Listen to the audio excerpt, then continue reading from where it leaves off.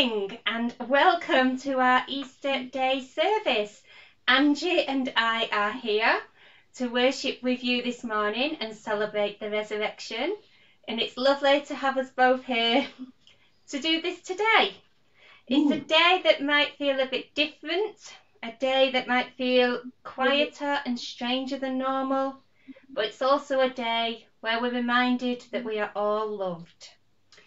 So we are going to start with a really good entrance hymn, O Surrexit Christus, Alleluia.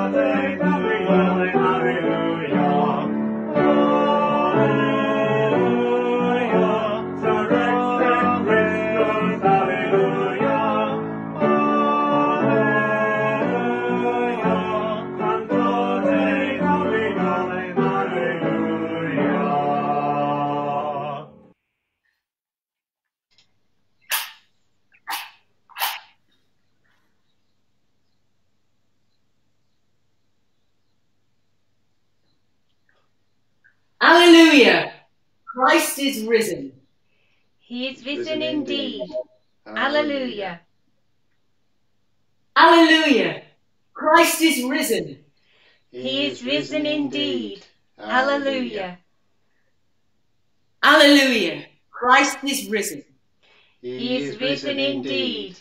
Alleluia. This is the day when our Lord Jesus Christ was raised gloriously from the dead, crushing the power of sin and destroying the sting of death. Throughout the world, Christians celebrate the mighty power of God as Christ and calls us out of darkness to share in his marvelous light. May we and all Christ's people shine as lights in the world to the glory of God the Father. The light of Christ. Thanks be to God. The light of Christ. Thanks be to God. The light of Christ. Thanks be to God.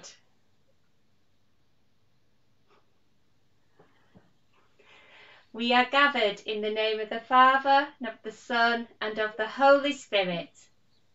Amen. So we're going to start with our Gloria. Please join in with us.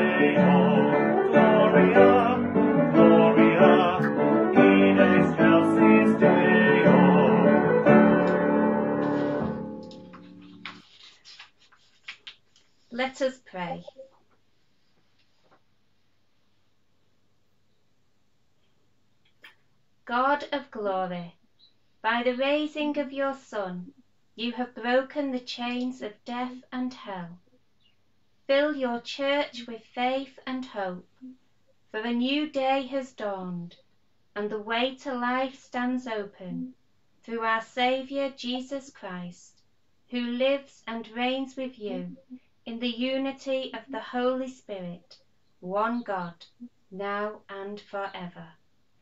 Amen. Peter began to speak to the whole crowd.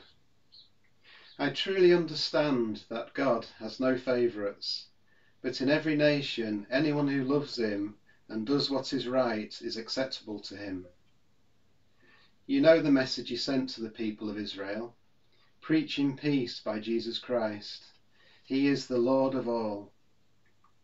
That message spread throughout Judea, beginning in Galilee after the baptism that John announced. How God anointed Jesus of Nazareth with the Holy Spirit and with power. How he went about doing and healing all who were oppressed by the devil, for God was with him. We are witnesses to all that he did both in Judea and in Jerusalem. They put him to death by hanging him on a tree, but God raised him on the third day and allowed him to appear, not to all the people, but to us who were chosen by God as witnesses, and who ate and drank with him and rose from the dead. He commanded us to preach to the people and to testify that he is the one ordained by God as judge of the living and the dead. All the prophets testify about him that everyone who believes in him receives forgiveness of sins through his name. This is the word of the Lord. Thanks be to God.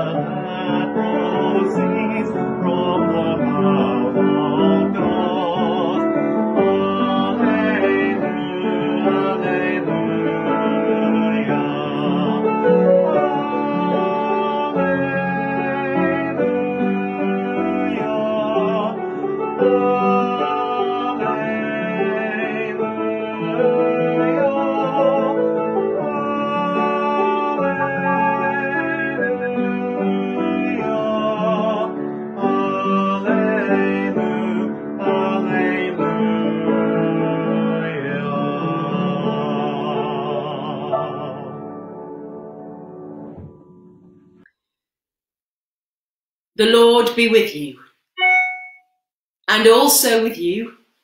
Hear the gospel of our Lord Jesus Christ, according to Matthew. After the Sabbath, as the first day of the week was dawning, Mary Magdalene and the other Mary went to see the tomb. And suddenly there was a great earthquake. For an angel of the Lord, descending from heaven, came and rolled back the stone and sat on it. His appearance was like lightning, and his clothing white as snow. For fear of him, the guards shook and became like dead men. But the angel said to the women, Do not be afraid. For I know that you are looking for Jesus who was crucified. He is not here, for he has been raised, as he said. Come, see the place where he lay. Then go quickly and tell his disciples, He has been raised from the dead, and indeed he is going ahead of you to Galilee. There you will see him. This is my message to you. So they left the tomb quickly, with fear and great joy, and ran to tell his disciples. Suddenly, Jesus met them and said, Greetings. And they came to him, took hold of his feet, and worshipped him. Then Jesus said to them, Do not be afraid. Go and tell my brothers to go to Galilee. There they will see you. This is the gospel of the Lord. Praise to you, O Christ. I need my props. Thank you. Not the usual thing you would have on an Easter day. A mallet and some eggs. But we'll see how we go. Jesus' tomb was a little bit like this egg. Inside, dark and cramped. But when the resurrection came, Jesus burst out from the tomb and Good Friday was smashed once for all, and new life was set free. Please work. Just. There's no going back. As you can see, the egg is smashed. this resurrection has undoubtedly happened. But the trouble was, there was nobody there who witnessed it. The first thing we know, as we're told today, is when the women arrived at the tomb expecting to find the dead body, but they find it empty. There was an earthquake, and they see an angel sitting on the stone that's been laid to the side. And the angel says, He's not here, for he's been raised. The actual moment of the resurrection had happened in private. But this Easter Sunday, these two Marys arrive at the tomb, trapped in their own Good Friday grief. Grief and sadness, leaving them and keeping them in the dark. Yet somehow they leave, full of fear, but also expectant joy. But you can tell the exact moment when the resurrection happened for them. It was when Jesus meets them and says, Greetings. All of a sudden, the sadness of the two Marys was turned to joy. Their Good Friday feeling is smashed. And a new life begins for them. At this point, I would have handed the chocolate round, but we don't have the technology to do that, so it will have to stay here for me and Tony. But the same is true for us too. All of us, in some way, will be trapped in our own Good Fridays, especially at this moment in time. We're unable to visit family and friends. We're unable to gather in church. We're unable to go and meet people outside. We have to keep our distance. There's no socialising or life as we know it. It was difficult to know how to tackle today with the present climate. But if I think back to the week when lockdown was beginning, we were experiencing Easter in church with the school children. And the day we had to abandon it, I was sat in church saying morning prayer, and around the church were all the prayer stations but at the front was the focal point. And that focal point, and I hope you can see it, was the resurrection. There we go. It's bold, it was bright, and it was unmissable. And in all the uncertainty, we have to hold on to our hope that there will be a resurrection moment. Our role is to hold people and places in prayer that they may experience the resurrection in a way that's personal to them. At the moment, we have only heard of the resurrection moment from the two Marys. But over the next few weeks, you will hear more stories about how the resurrection became real to Jesus' friends, to Thomas, to the disciples, from the road to Emmaus. And if you have any eggs left over all those days, you could hold them up each week, and you could break from the tomb and start a new life. Amen.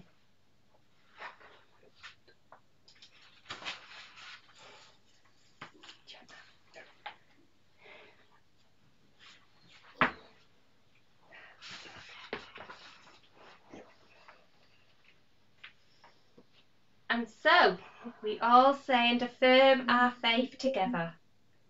We believe in God the Father, from whom every family in heaven and on earth is named. We believe in God the Son, who lives in our hearts through faith, fills us with love, and believe in the God the Holy Spirit, who strengthens us with power from on high.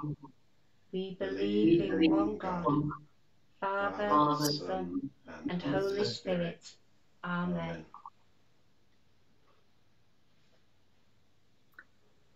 And now we pray for the world God loves. We pray to Jesus, who is present with us to eternity. Jesus, light of the world, bring the light and peace and healing of your gospel to all the nations. Bind us together in our common struggle against disease. Jesus, Lord of life, in your mercy, hear us. Jesus, bread of life, give food to the hungry Nourish all the world with your word and bind us together in our common struggle against poverty and injustice. Lord of life, in your mercy, hear us. Jesus, our way, our truth, our life. Be with us and all who follow you in the way enliven and strengthen your church, even in these difficult times. Bind us together as Christians in every nation. Deepen our appreciation of your truth and fill us with your joy. Jesus, Lord of life, In your mercy, hear us. Jesus, Good Shepherd, who gave your life for the sheep. Heal all those we love. Heal all those who call on you. And bind us together to care for and appreciate one another. Good Shepherd, recover the lost, bind up the injured, strengthen the sick, and lead the healthy and strong to new pastures. Jesus, Lord of life, In your mercy, hear us. Jesus, the resurrection and the life. We give you thanks for all who have lived and believed in you, for all those we have loved and lost. We take a moment to remember them.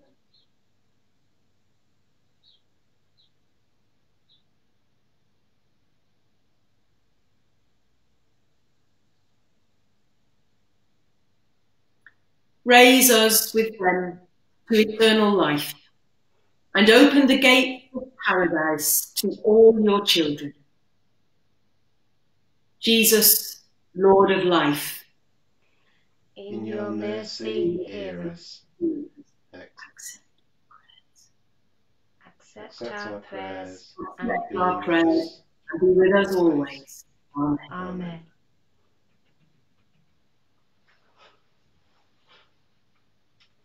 So we come to the peace.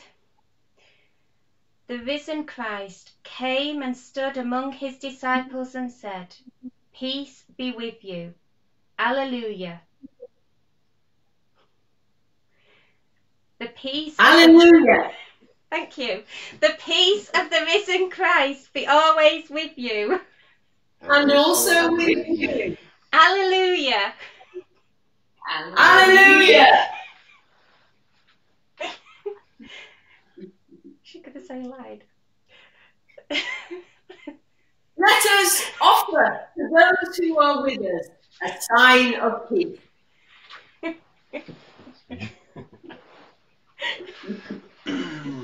We're doing well. yeah. Right, go for it.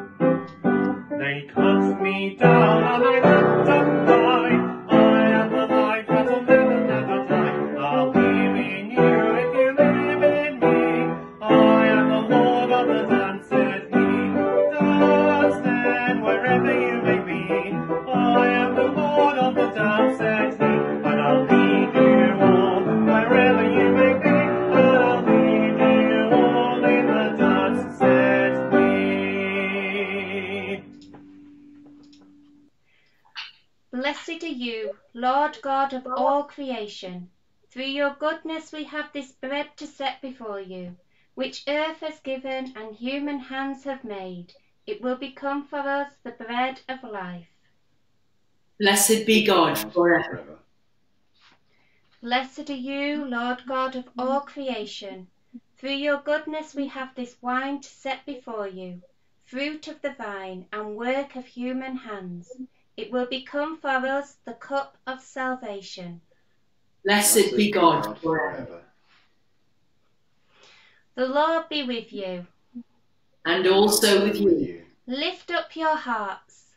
We lift them to the Lord. Lord. Let us give thanks to the Lord our God. It is right to to give thanks and praise. praise. It is indeed right, our duty and our joy, always and everywhere to give you thanks, Almighty and eternal Father. And in these days of Easter, to celebrate with joyful hearts the memory of your wonderful works. For by the mystery of his passion, Jesus Christ, your risen Son, has conquered the powers of death and hell, and restored in men and women the image of your glory. He has placed them once more in paradise, and opened to them the gate of life eternal.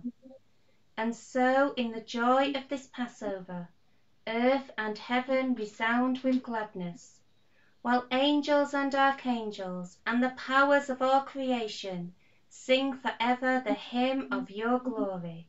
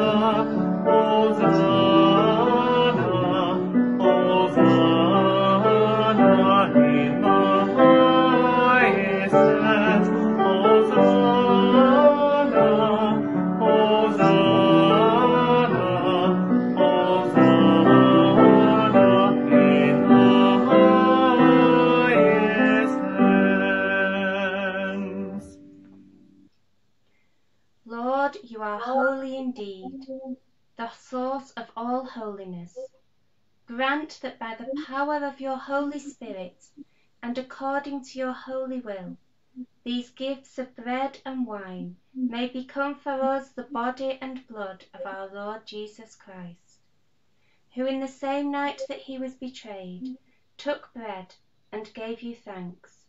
He broke it and gave it to his disciples, saying, Take, eat.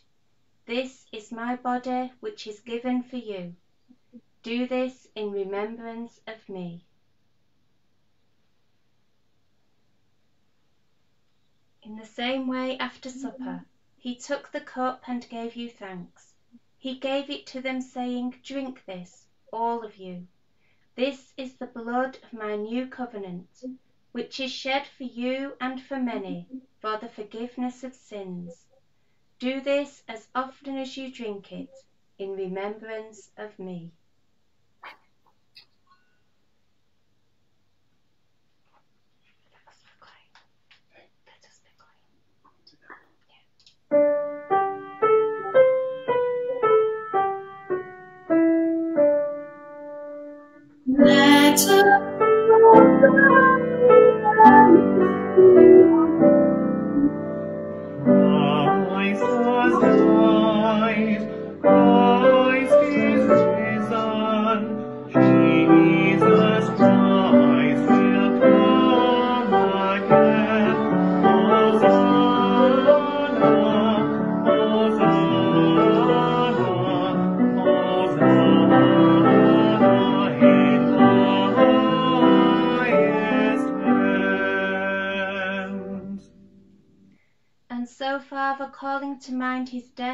Cross, his perfect sacrifice made once for the sins of the whole world, rejoicing in his mighty resurrection and glorious ascension, and looking for the coming in his glory, we celebrate this memorial of our redemption.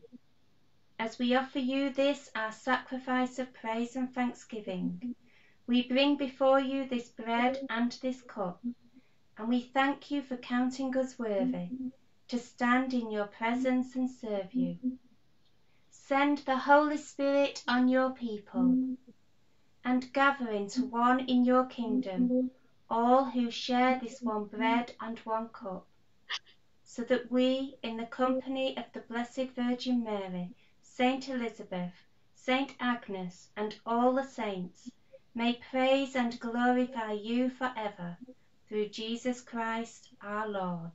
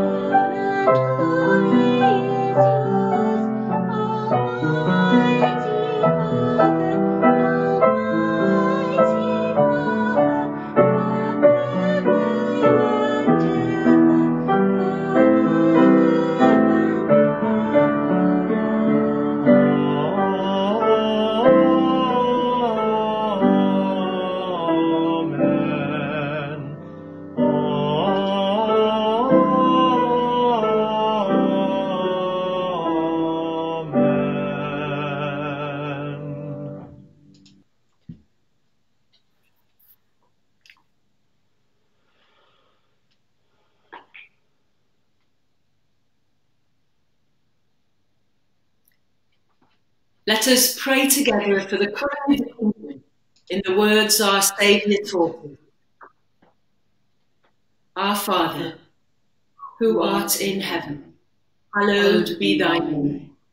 Thy kingdom come, thy will be done, on earth as it is in heaven.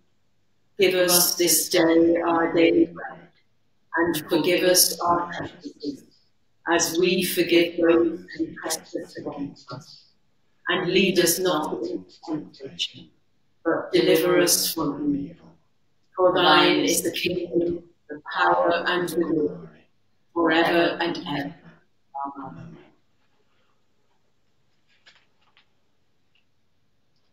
We break this bread to share in the body of Christ.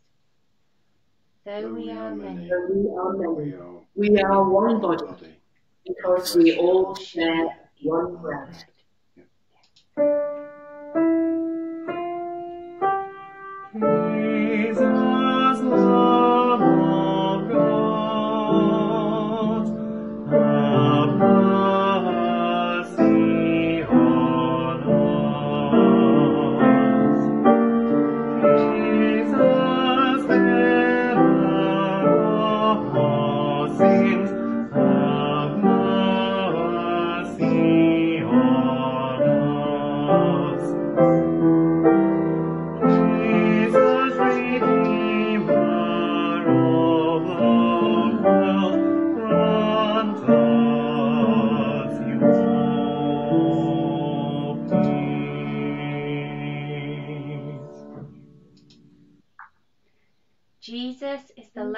God, who takes away the sin of the world.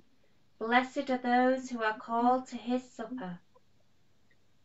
Lord, Lord I am not worthy to receive you, but only say the word, and I shall be healed.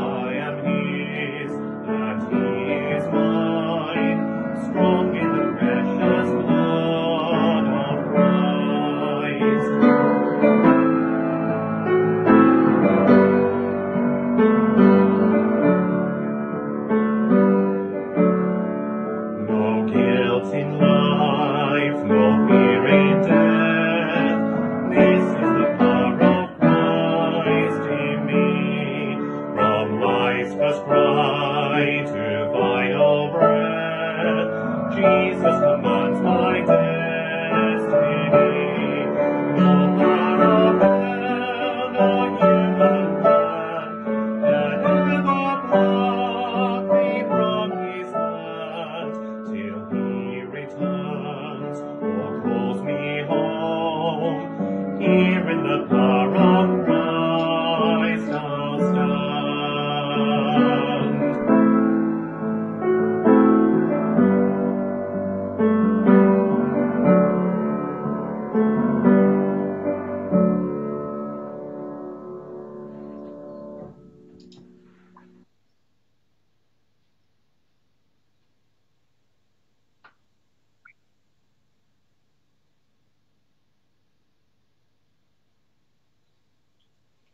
gather our prayers to say the post communion prayer together. God, God of life, who for our redemption gave your only begotten Son to the death of the cross, and by his glorious resurrection have delivered us from the power of the our enemy. Grant us so to the day daily to sin, in, that we may evermore live with him in in the joys joy of of his risen risen life. life. Through Jesus Christ our Lord.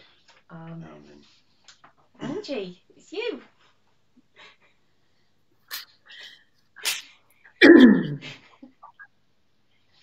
I know that Alison has already wished you a happy Easter, so um, let me do that too.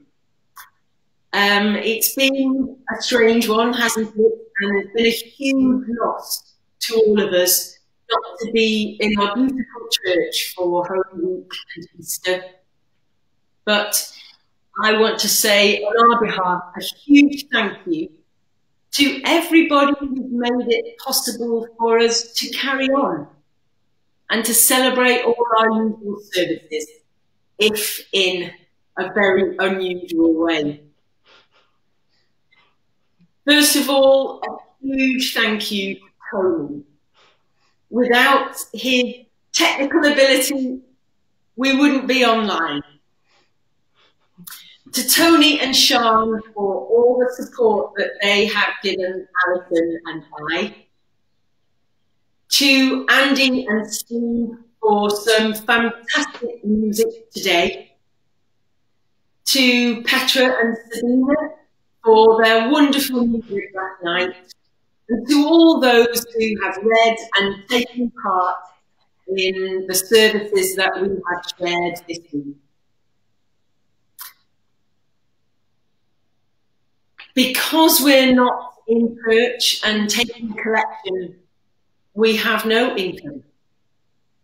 So it really does fall to me as the rector of St. Elisabeth's on behalf of the wardens to say, please don't stop giving to church.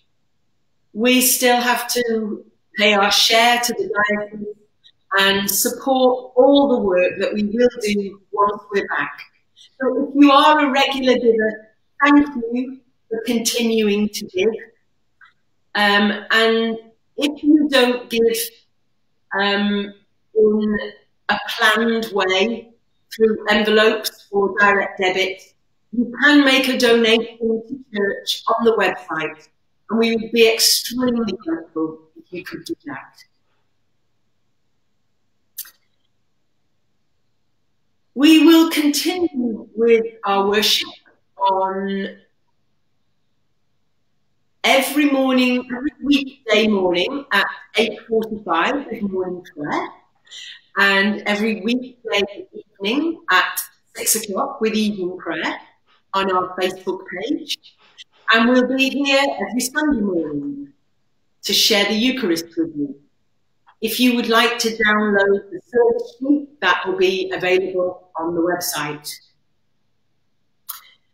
We've got all sorts of things to do when we get back to church, not least to um, complete our Easter raffle.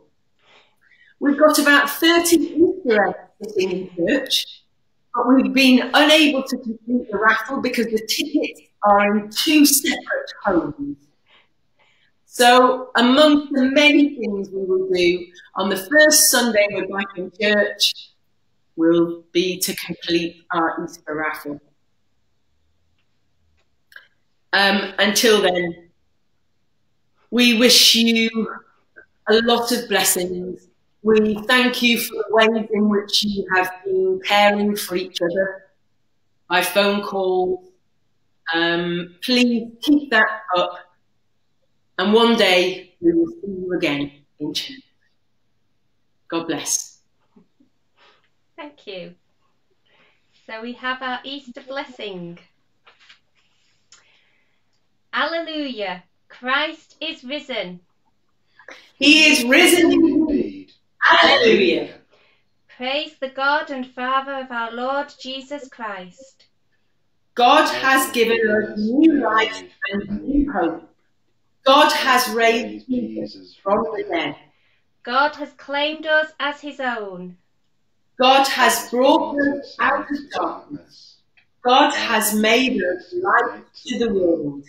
Let's try and do this one really loud. Alleluia! Christ is risen.